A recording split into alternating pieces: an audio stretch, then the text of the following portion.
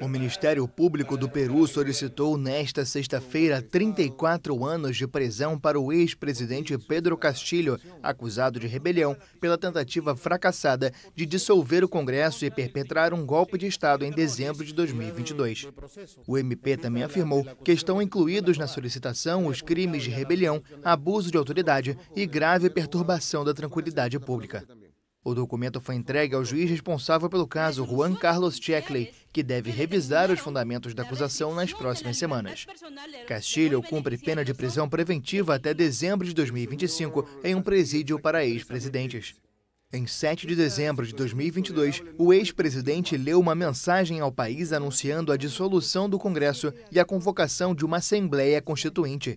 Castilho afirmou ser inocente e reiterou a versão de que foi destituído do cargo no que considera ser uma conspiração política entre o Congresso de Direita e o Ministério Público.